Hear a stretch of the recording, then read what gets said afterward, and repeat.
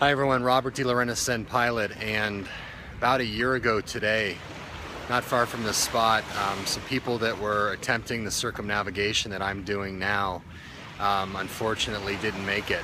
It's here uh, on the uh, island of American Samoa. They departed from Pago Pago early in the morning and uh, didn't make it very far off the end of the runway. And it's a father and son and the, uh, the son was found, the father never was. The wreckage of the aircraft was found sometime later, but um, anyway, I've just, I'm intending to set some flowers free here to be a tribute to them and their, their courageous effort to pursue their dream of flying around the world.